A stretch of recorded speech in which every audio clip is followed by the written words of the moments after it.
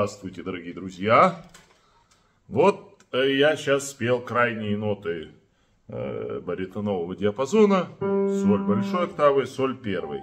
Это рабочий диапазон баритона. Ну, соль большой практически она. Хотя нет, она все-таки встречается и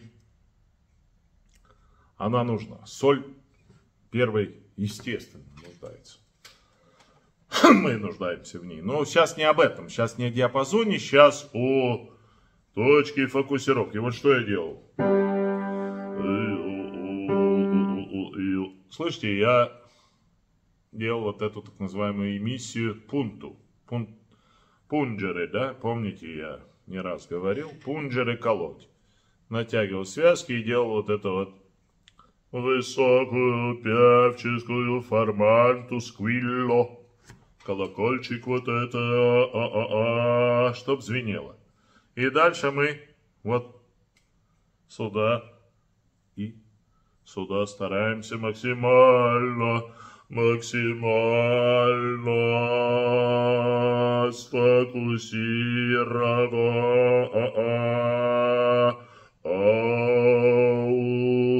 Вот. В этом упражнении все пять гласных, да? То есть...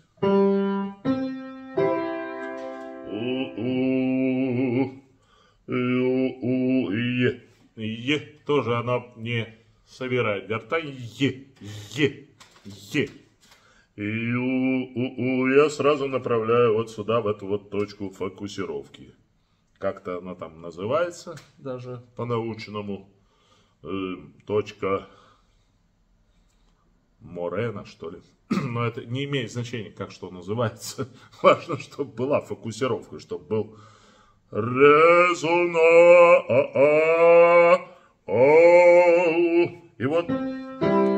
Пять гласных наших, да? У-у. Мы все встраиваем в У.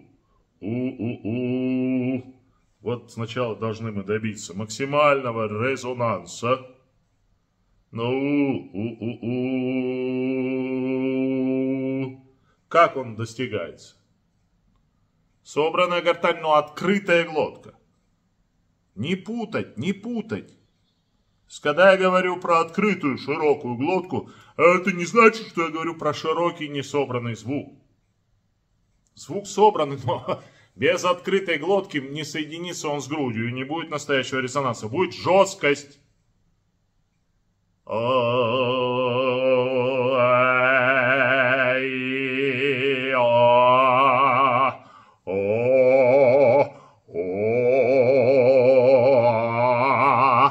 Вот вы будете хорошо здесь себя слышать. И это даже может быть вот сейчас на записи даже будет, наверное, ярче, может быть, где-то на каких-то записях. Но в реале это будет нифига, простите, не ярче.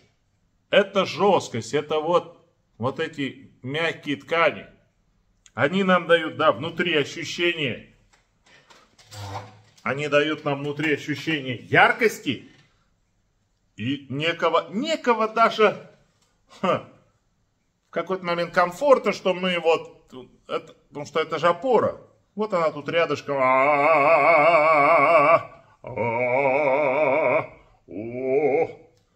Но когда мы начинаем петь и сталкиваемся с вокальными трудностями, мы вдруг обнаруживаем, что нам тяжело вот так вот опираться. А-а-а. Поэтому-то и нужна. Ну, много чего нужно. Много чего нужно. И вот сейчас мы с вами попоем вот это упражнение и постараемся добиться чего? Одинакового звона и одинаковой свободы в глотке. То есть два компонента. Ощущение ну, вернее, ощущения все время, да, мы, мы по ощущениям понимаем, что у нас резонирует, и по ощущениям понимаем, что нам легко.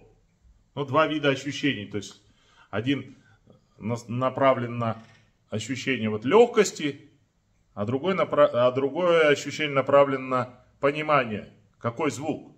Потому что звук нам диктует. Звук диктует. Как нам себя вести? Нет никакой отдельной там опоры, нет отдельно дыхательной какой-то техники, без звука. Главное – звук. Он диктует. И вот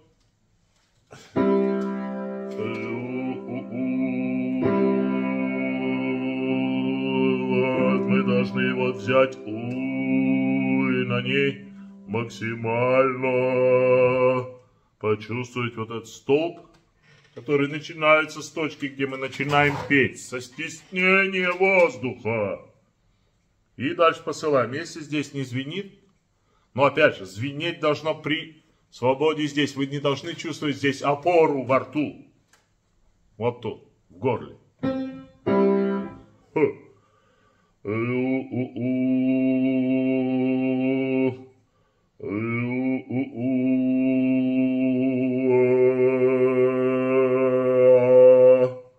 Сейчас я забыл.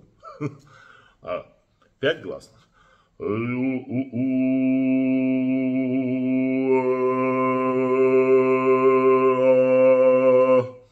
Извините. Юао. Вот.